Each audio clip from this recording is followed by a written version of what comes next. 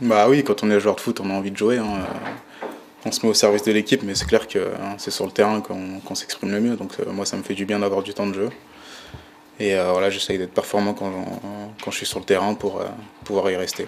Ça fait du bien d'être décisif. D'ailleurs, je remercie les supporters. Je reçois vraiment énormément de messages d'encouragement.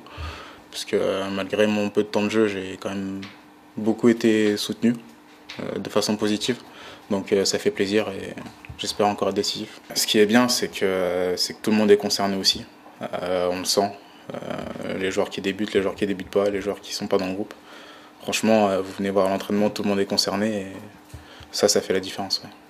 On a fait un bon résultat à l'extérieur, il faut, bonifier ça en, faisant un résultat positif à domicile. C'est toujours bien de faire des séries pour exister dans le championnat. Après, voilà, je sais qu'il y a d'anciens Troyens, c'est toujours particulier de revenir dans son ancien club.